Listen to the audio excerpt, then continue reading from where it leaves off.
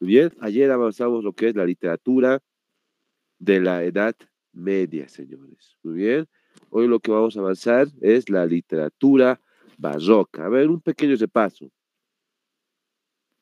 Se llama literatura de la Edad Media, se le llama lo que es el, la edad del oscurantismo. ¿Por qué? Porque en esa época, ¿no?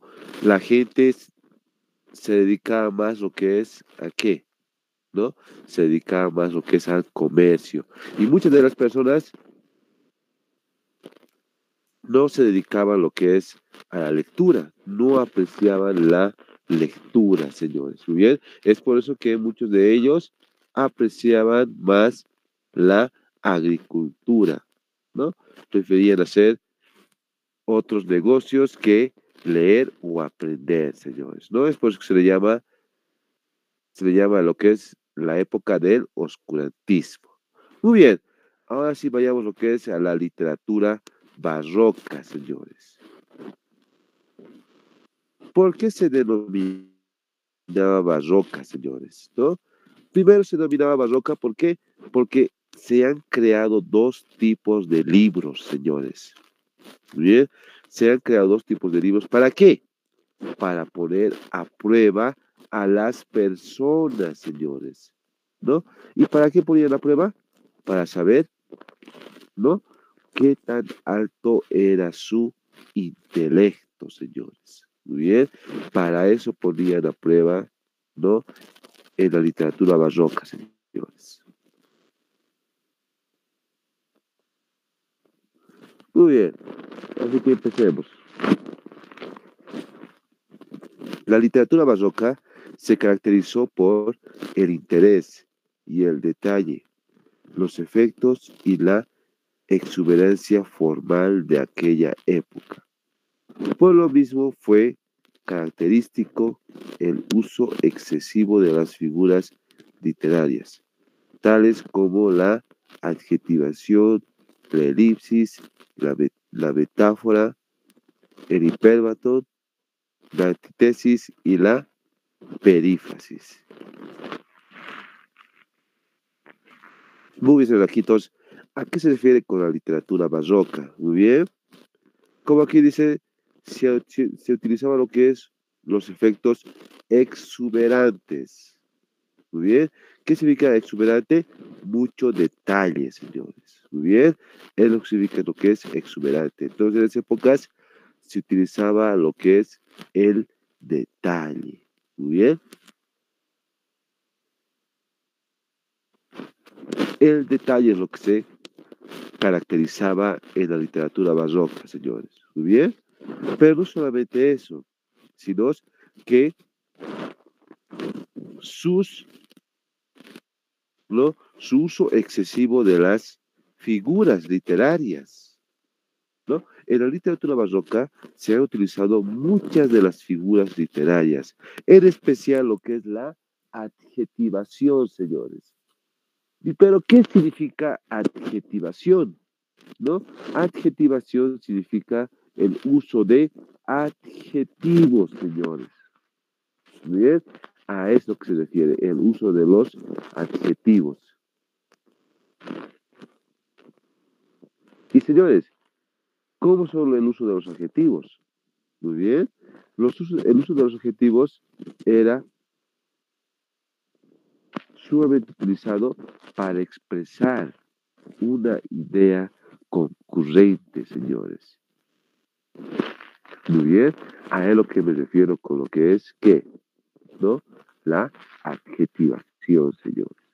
Pero no solamente eso, sino que también utilizaba lo que es el hiperbatón. ¿Qué era el hiperbatón? ¿No? Era el orden de las palabras. Por ejemplo, ¿a qué me refiero con el orden? ¿No? Por ejemplo, como decía diciendo, ¿cómo es una oración? ¿no? ¿Cómo está formada una oración? Una oración está formada por sí o sí un sujeto, luego sigue lo que es qué, ¿no? Luego sigue lo que es el predicado, señores. Así es como vendría a ser lo que son una oración. Ese orden tiene que seguir. Sujeto y predicado. Pero en el hiperbatón no sigue así, señores. A veces al principio está lo que son los complementos y al último están, ¿qué? Los sujetos, señores. ¿No? Entonces, ese vendría a ser lo que es el hiperbatón, señores. Muy bien, a él lo que se refiere. Muy bien, ¿qué más? ¿No? La antitesis, señores. ¿A qué se refiere con la antitesis? La antitesis, señores, por, favor, no lo, no lo piensen mal, ¿no? Porque muchas personas piensan que antitesis es una tesis o es un proyecto que hay que presentar, ¿no? No es eso, señores. Antitesis no se refiere a eso, señores. ¿Muy bien? Antitesis se refiere a lo que es lo que es a un trabajo, pero que nos necesita de una investigación, señores. Y eso vendría a ser qué? Lo que son los poemas, señores. ¿Muy bien? Porque, señores, para escribir un poema, ¿no? Para escribir un poema, no necesitas investigar, señores. Y eso es lo que se llama antitesis, señores, ¿no? Porque para un poema, bueno, una persona puede escribir un poema.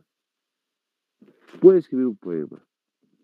Pero va a ser eh, revolucionario o no. ¿No? Exacto, señores. Muy bien. Vean, ¿qué les dije? ¿No? El hiperbatón, ¿no? En este caso, la antitesis, ¿no? que se refiere a las poesías. Y las poesías son, ¿qué? Son, son eh, poesías, pero que no son, ¿qué? Escritas, señores. No están caracterizados con la con el lenguaje, señores. Muy bien. Vamos, vamos con el siguiente. ¿Qué, qué va a seguir?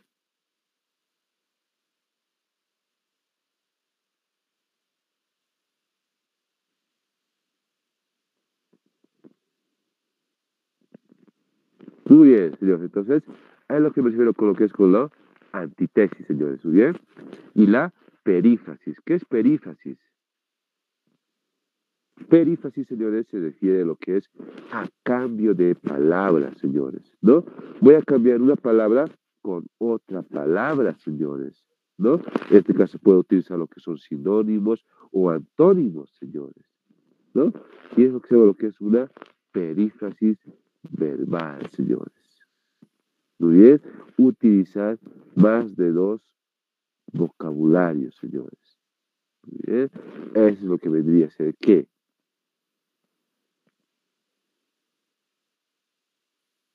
Sí. Muy bien.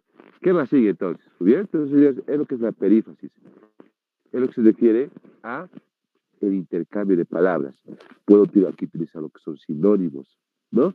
Para que tenga un parecido similar, señores. ¿Muy bien? Muy bien. ¿no? En el barroco también, señores, se utilizaba lo que es demasiado lo que es la metáfora, señores, ¿no? Pero no era, no era una metáfora eh, fácil de comprender, señores.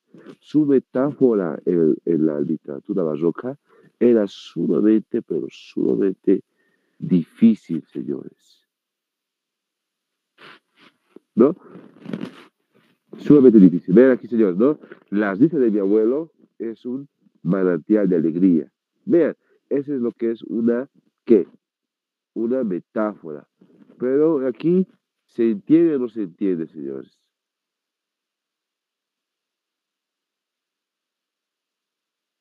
Muy bien, señores. Es lo que me refiero con lo que es con la metáfora, señores. Muy bien.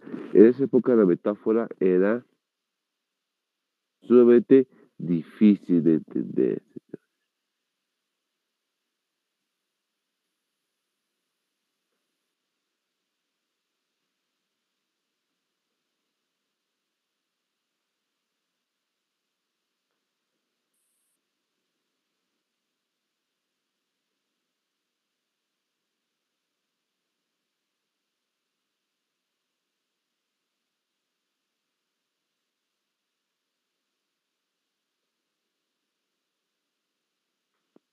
¿No?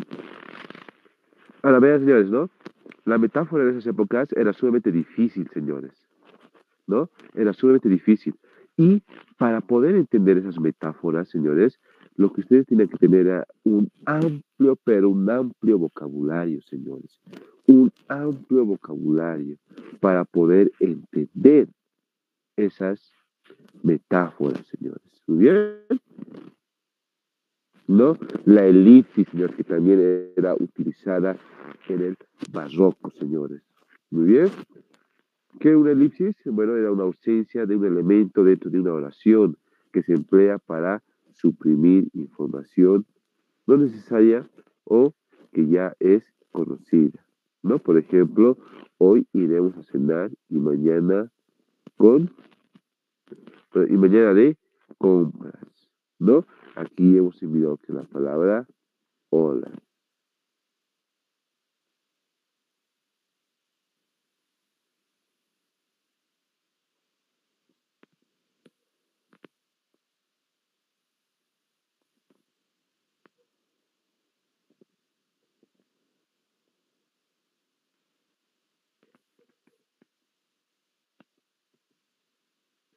Muy bien. Veamos aquí, señores, ¿no? Hoy iremos a cenar y mañana de compras. ¿No? Vean lo que es una elipsis. ¿No? Año de nieves, año de bienes. ¿No? Aquí lo que estoy utilizando es la S, señores, la E y la S. ¿No? Quiero un café con leche y canela. Con vendría a ser, señores. ¿No? La antítesis que eran qué? ¿No? Era lo que se decía las poesías, señores. Muy bien, y las perífosis verbales, ¿no? Era sustituir una palabra con la otra, señores. Muy bien, en la literatura barroca, en cuanto a los géneros, la literatura del barroco dio continuidad a aquellos heredados por el Renacimiento. Sin embargo, hubo un desarrollo ¿no? Un desarrollo novedoso.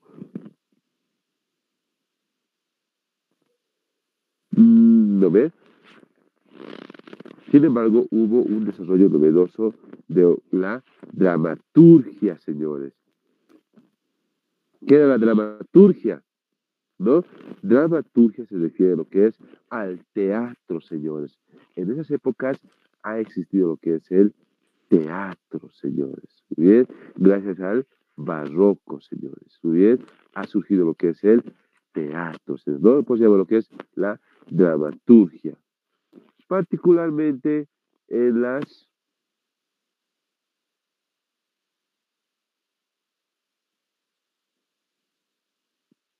Muy bien, ¿qué más?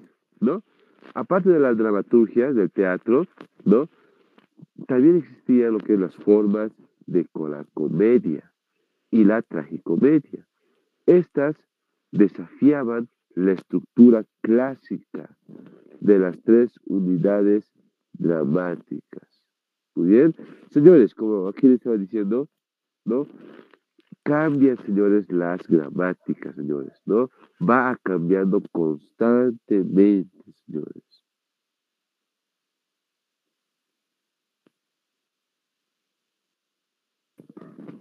No, señores, entonces, es lo que yo me refiero con lo que es con la dramaturgia, ¿no? Que se refiere a lo que es a la comedia y la tragicomedia. ¿Qué dijimos sobre, la comedia? Comedia es cuando va a tener, bueno, va a ser algo gracioso, pero no, no solamente gracioso, ¿no? El final va a ser un final agradable, señores. Bien, es lo que es comedia. Tragicomedia, ¿no? Bueno, en este caso, tragedia, ¿no? Que va a ser algo malo, va a ser. Y comedia, bueno, va a ser gracioso. Bien, entonces, tragicomedia se refiere a lo que es qué, ¿no? Muchos de los autores mezclan las obras, ¿no? Con comedia, con, con la tragedia, ¿no? Lo mezclan y lo van a volver en otro tipo de género, señores. Bien, es lo que yo me refiero. Muy bien. ¿Qué más? ¿No? ¿No?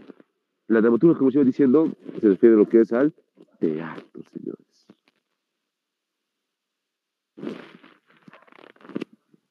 Ahora sí, vamos con las características generales de la literatura barroca.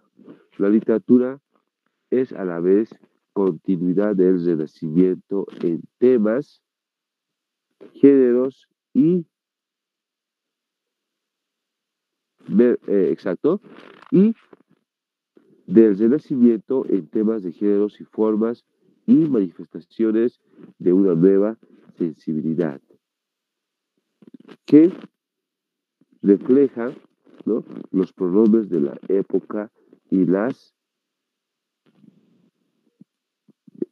y bueno, ese ideas se refiere a lo que es a qué, a las ideas filosóficas. Los escritores del barroco buscan la originalidad y así surgen novedades en los tres géneros literarios a la vez que se origina una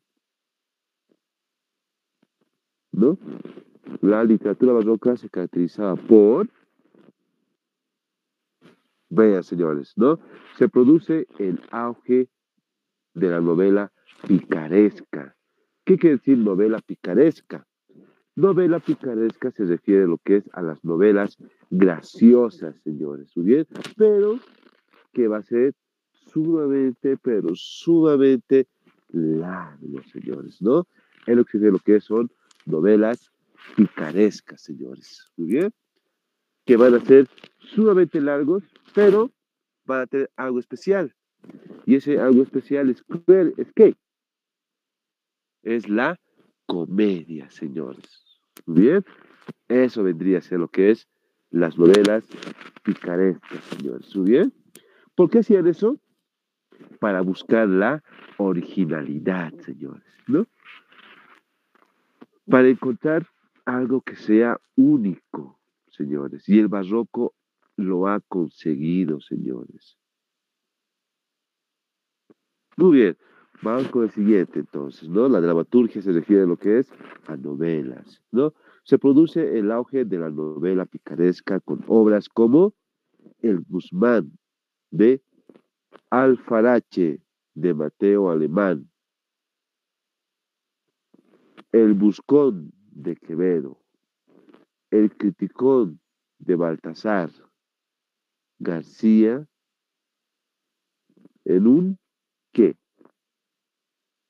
Muy bien, en una novela con una visión del mundo marcadamente negativa, señores. Muy bien, eso vendría a ser. Primero quiero que separen de sílabas, señores. Muy bien. Vamos, sepárenlo a la palabra. ¿Qué palabra? ¿No? Exacto, señores, ¿no? Libremente, señores, escriban en su libremente. Vamos a ver, escriban y vean. ¿No? Ese vendría a ser, señores, ¿no? Tengo que saber qué es, ¿no? O qué es lo que voy a tratar de decir, señores. Muy bien, ¿qué más? ¿No? El barroco también se caracteriza por su gran amplio de vocabulario, señores, ¿no? En el barroco, señores, se utilizaba, ¿no? El vocabulario, pero no el común, señores, que ustedes conocen, ¿no? Otro tipo de vocabulario, señores. En este caso, vendría a ser lo que es, ¿qué? ¿No? Bueno, hasta el momento no se, no se han encontrado sobre esta fiesta, ¿no? Que es de Paseña. Entonces, veamos aquí, señores, ¿no? Esta obra, Don Quijote de la Mancha, es una obra picaresca, señores, ¿no? ¿Por qué es una obra picaresca? Es una obra picaresca porque muchos de ellos, ¿no? Tenían lo que es un final feliz, señores y no sabían o no supieron cómo resolverlo, señores.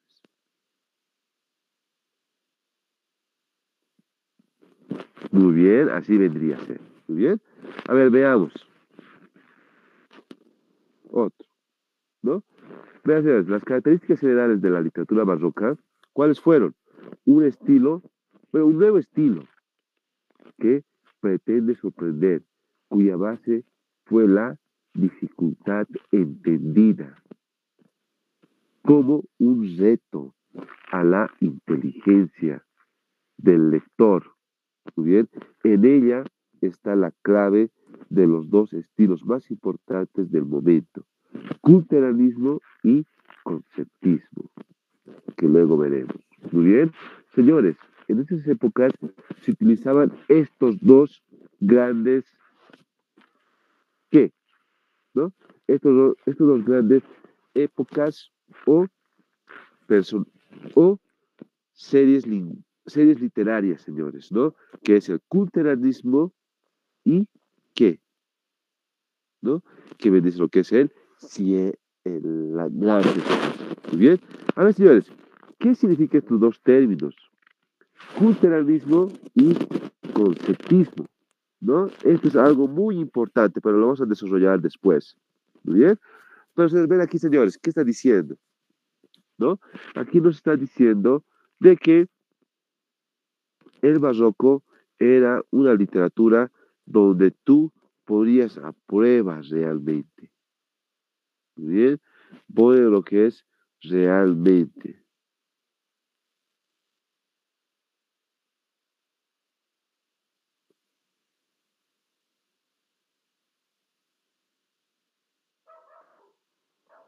Bien, a ver, hasta que. Voy a ver.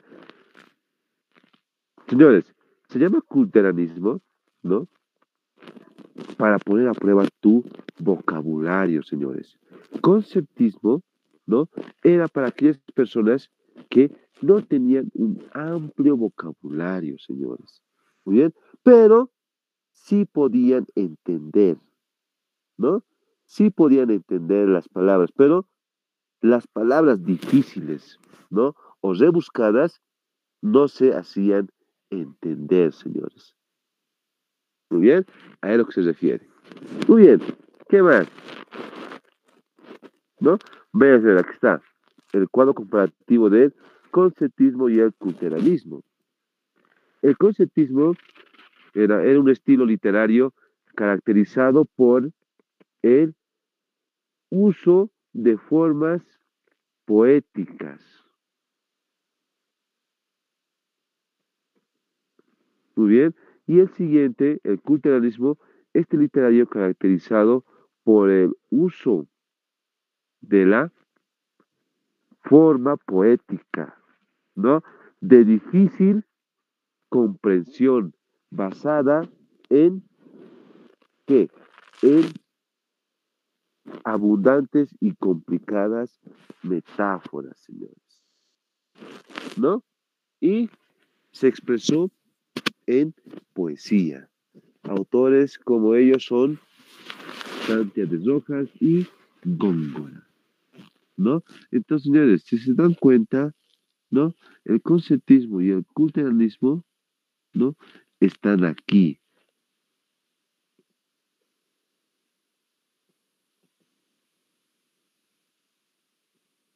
A ver, por favor, señores. Y conceptismo se refería a lo que es, ¿no? Se expresaba lo que es en prosa. Los autores más destacados del conceptismo tenemos lo que es a Francisco de Quevedo y Miguel, de Cervantes. Son los cuatro estudiantes que, ¿no? Estos no, bueno, no son cuatro, son varios, ¿no? Pero los más resaltados el conceptismo es este, señores. ¿No? A ver, eh, conceptismo. El conceptismo está escrito lo que es en prosa, señores. ¿No? ¿Qué es el, a ver, por ejemplo, este libro que estoy agarrando? ¿eh? Primero se da lo que es el saludo, señores.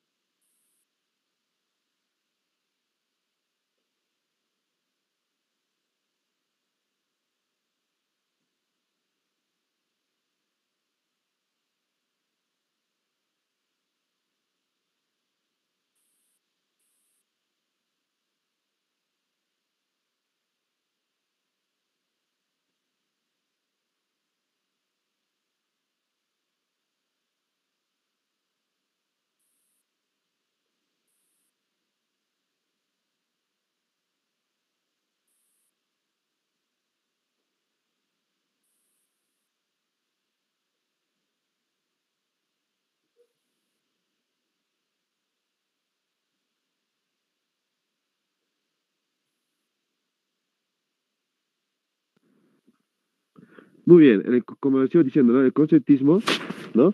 es, una, ¿no?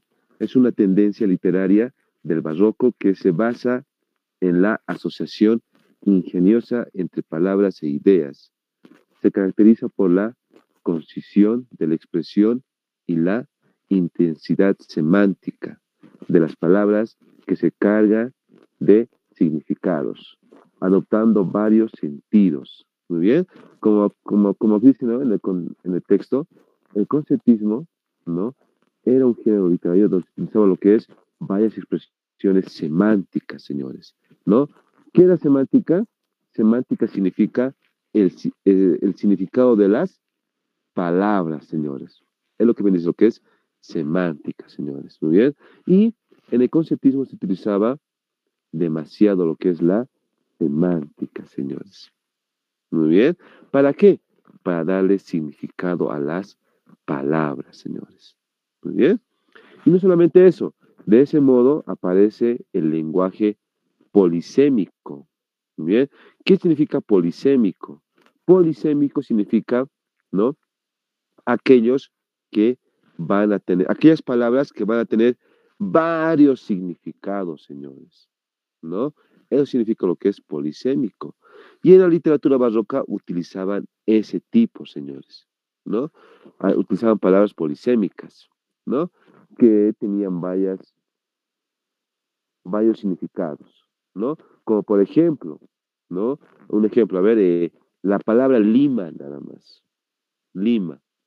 Lima, ¿qué significa? ¿No?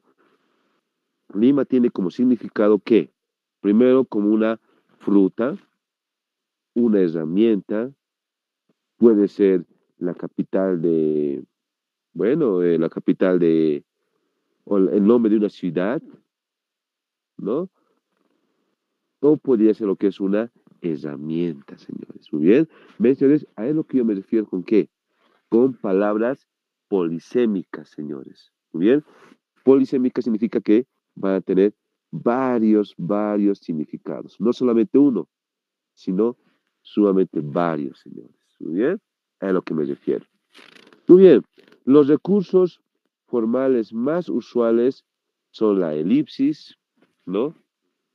La disemia, la polisemia, la antítesis, el equívoco, la paradoja, la paranomasia y la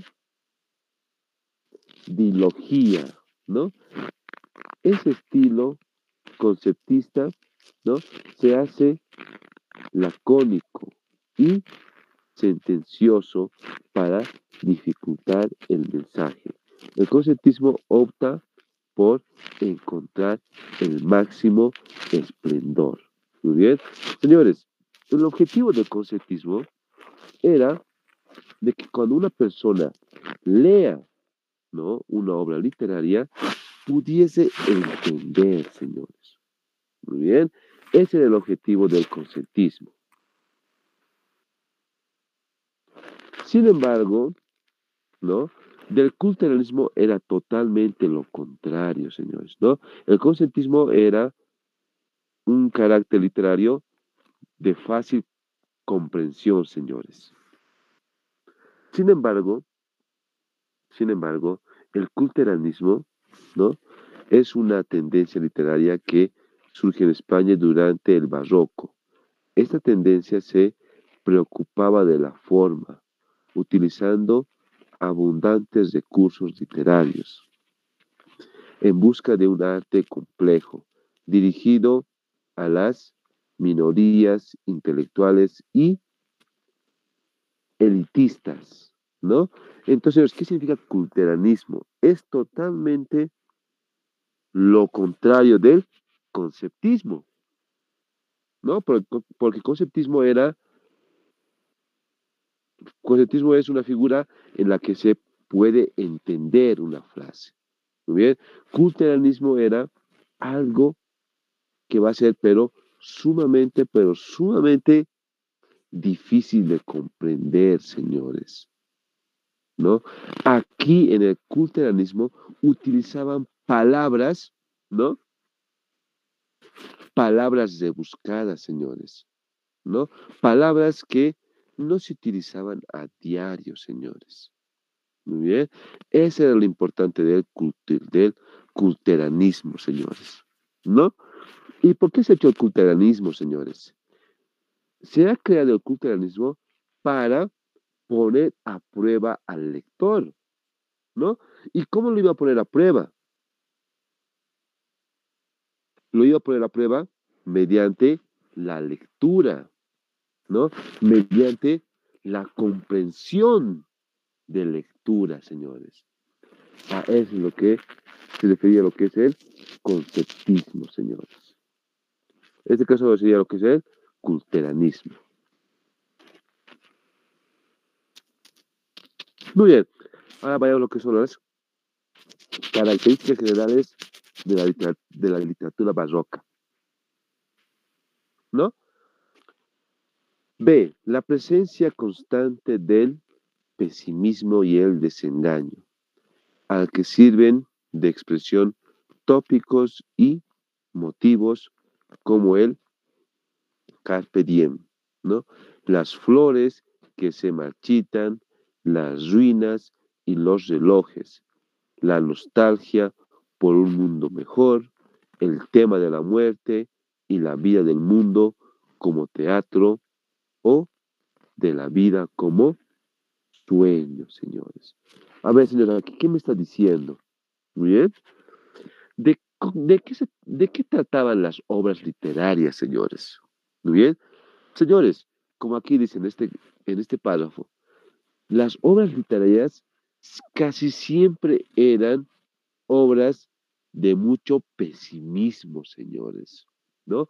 O desengaño. ¿Y por qué utilizaban ese pesimismo y desengaño? Utilizaban el pesimismo y el desengaño para qué?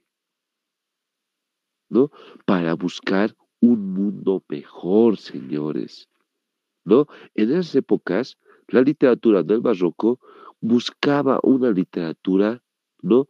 Que sea el mundo mejor, señores. ¿No?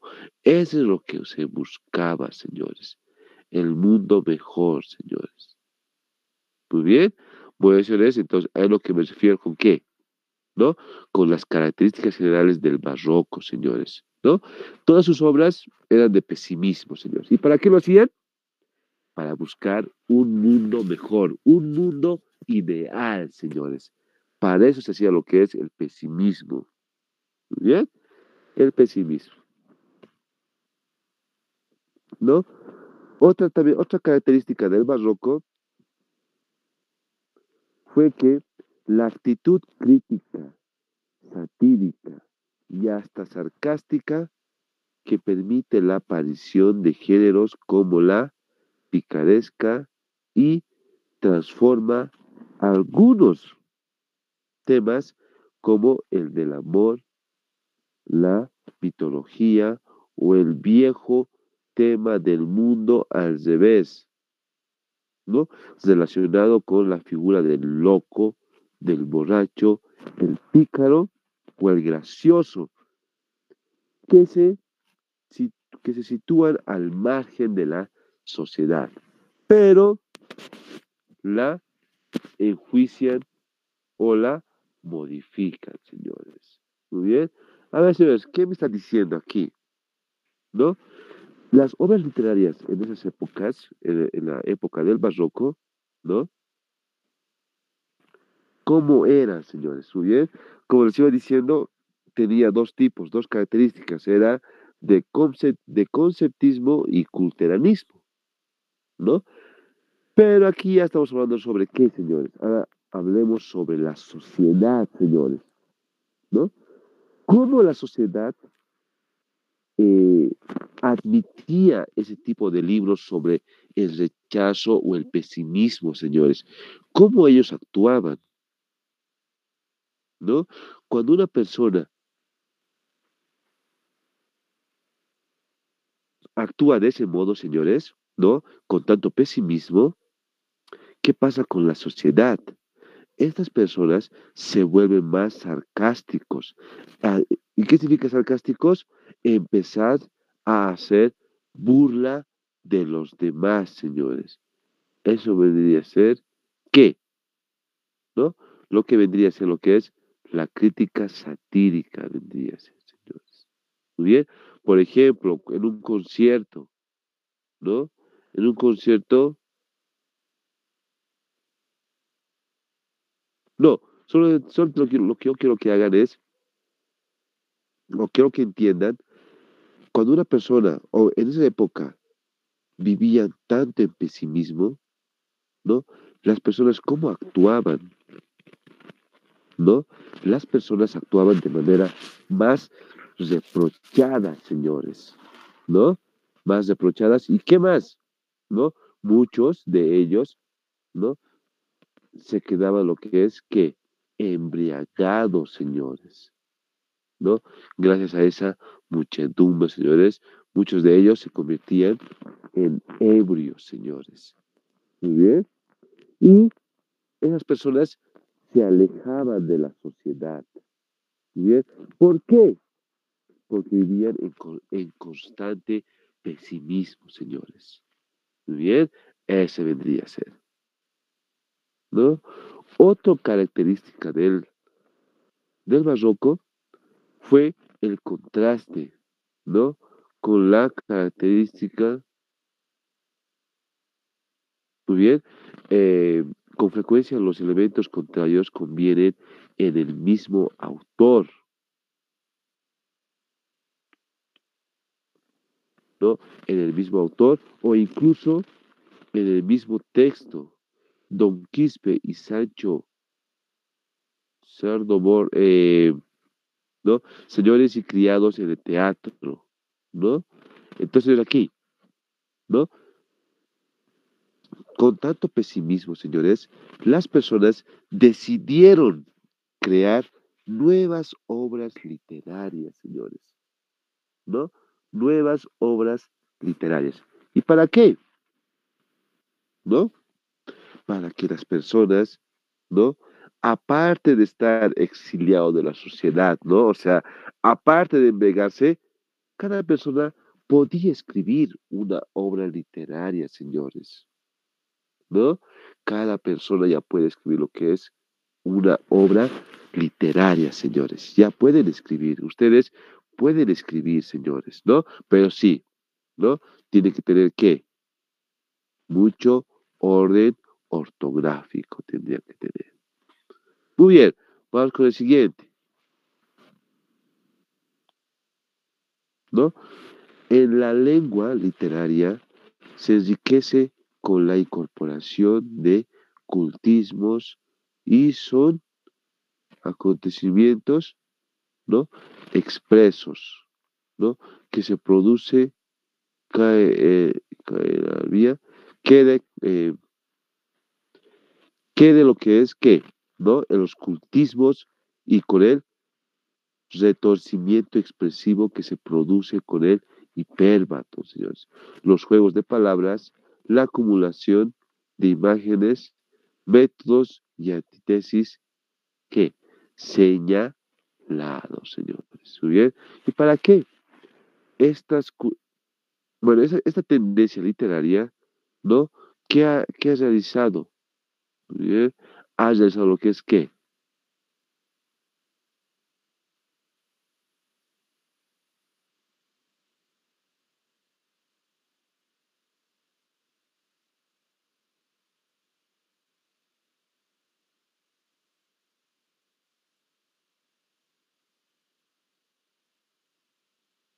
¿no?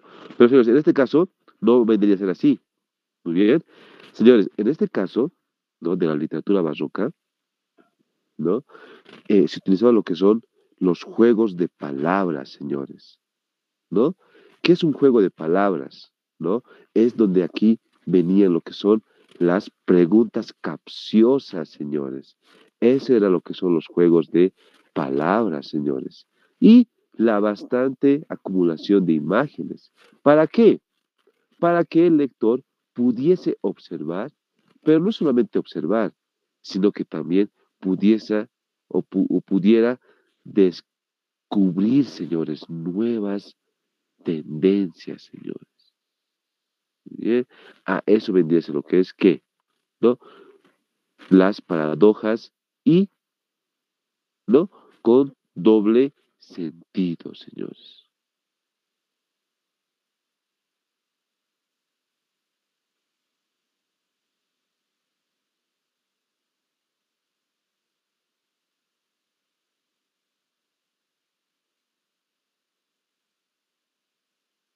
Bueno, ya ver, vamos a ver entonces.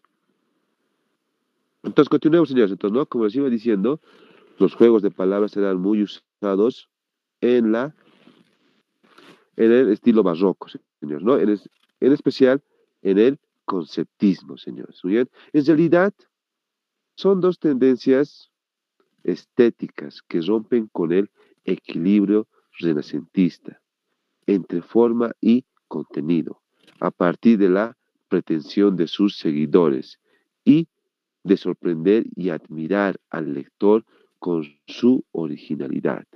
Conceptismo y culturalismo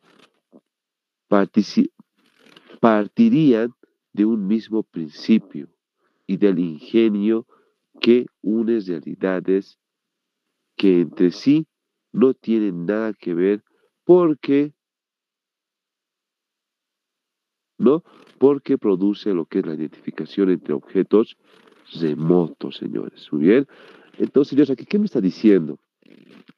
¿Para qué se ha creado, ¿no? Estos términos de conceptismo y culturalismo. ¿Cuál era su objetivo? ¿No? Su objetivo era que las personas, ¿no? Las personas o cualquier persona pueda dedicarse a leer, señores, a eso es lo que se ha dedicado el barroco, señores. Hoy en día, a veces, señores, ¿no? ¿Cómo es la educación aquí en Bolivia?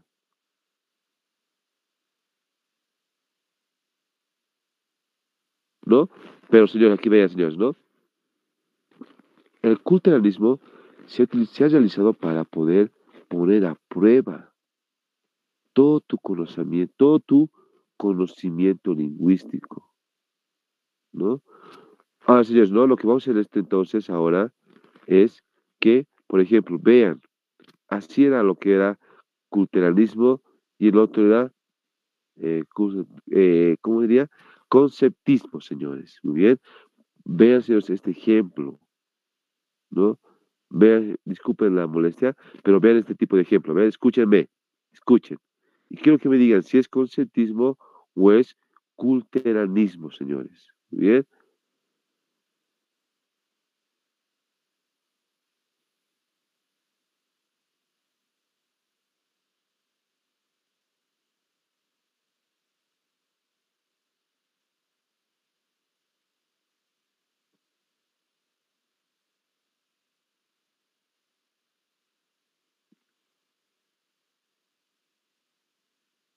¿No? A ver, señores, vamos a hacer algo especial aquí.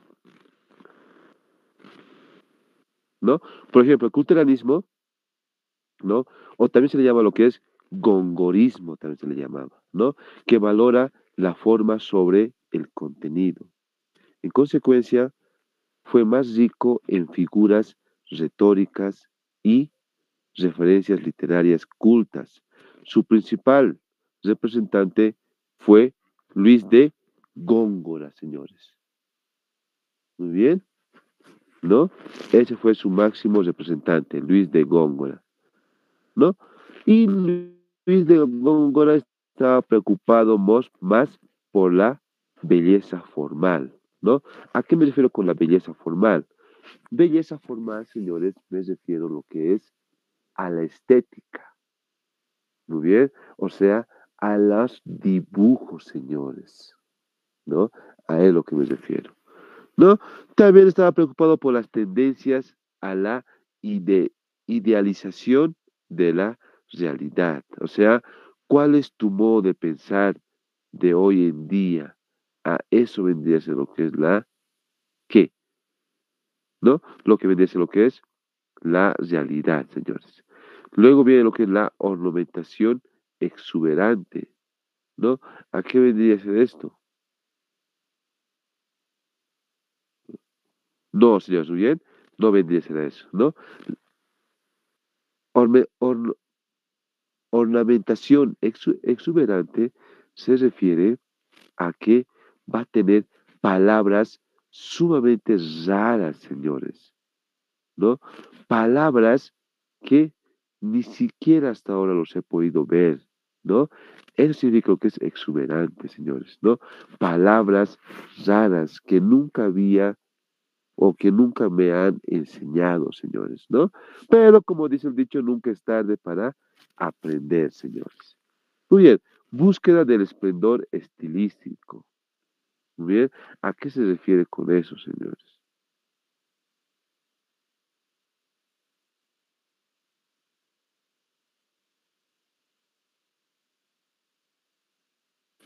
Bueno, a ver, vamos, entonces continuemos, a ver. Ahora sí, vamos con el conceptismo. El conceptismo valoró el contenido tanto como la forma. Se basa de la exposición de ideas o conceptos mediante el ingenio verbal. Uno de los principales exponentes fue Francisco de Quevedo, señores. ¿No? Pues recuerden, Francisco de Quevedo fue quien ha creado el término de conceptismo, señores. Y Luis de Góngora fue quien ha creado el término de, ¿no? De culteranismo, bendiga señores. Bien. Bueno, señores, ahora sí, a ver, continuemos, a ver qué más sigue, ¿no? Preocupación por la expresión de contenido. Bien, ¿esto a qué se refiere? ¿No? Muchos de los autores a veces se preocupaban. ¿Por qué? ¿No? Porque, como les estaba diciendo, el conceptismo era una categoría, ¿no? De la lingüística que era fácil de entender, señores, ¿no? Era fácil de comprender, ¿no? Y Francisco de Quevedo estaba preocupado por eso, ¿no? Porque como era tan sencillo, la gente no va a querer investigar más allá, señores, ¿no? Mientras más difícil sea de entender los párrafos, más voy a aprender, señores. Muy bien, a eso que se está refiriendo, señores. Por eso se refiere lo que es a la preocupación, señores. ¿No? Siguiente, ¿qué a seguir, no? Tiende a la sutileza y se basa en las asociaciones ingeniosas de palabras o ideas. Su ideal es el laconismo y la sentenciosidad. La lengua literaria se pretende concisa, llena de contenido. La sintaxis, frases breves y sintéticas. Lo bueno, si breve, dos veces bueno, dirá García. El vocabulario se juega con los significados de palabras, ¿no? Con sus dobles sentidos, ¿no? Los recursos retóricos como la antítesis, paradojas, metáforas, ¿no? Son las figuras retóricas que utilizaban el barroco, señores, ¿no? Pero no solamente eso, señores, ¿no? En el conceptismo, ¿no? En el conceptismo se utiliza lo que son las palabras de qué? ¿No? Las palabras con doble sentido, señores. ¿No? Por ejemplo, doble sentido, ¿no? Eran palabras polisémicas. ¿Qué eran palabras polisémicas? Eran aquellas palabras que van a tener varios, pero varios significados, señores. Bien, es, lo que se lo que es qué, ¿no? Palabras polisémicas, ¿no? Que van a tener varios significados, como por ejemplo, saco. Solamente la palabra saco, ¿no? ¿Qué significa saco? ¿No? Bueno, algunos dirán, es un traje, ¿verdad? Pero saco también se refiere a lo que es a una bolsa, ¿no? O un saquillo, ¿no? A una bolsa, saco. ¿No?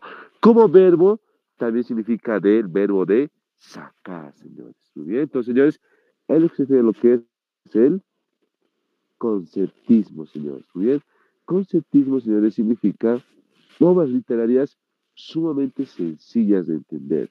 Sin embargo, el culturalismo ¿no? es el que ponía a prueba y él tenía una lógica. Su lógica de él era, mientras más difícil sea el problema, más vamos a aprender. Ese era su lema de Luis de Góngora, señores. Bien, que él ha creado el término de culteranismo, señores. Bueno, señores, eso vendría a ser todo por hoy sobre el estilo barroco. ¿Alguna pregunta o dudas aquí, señores?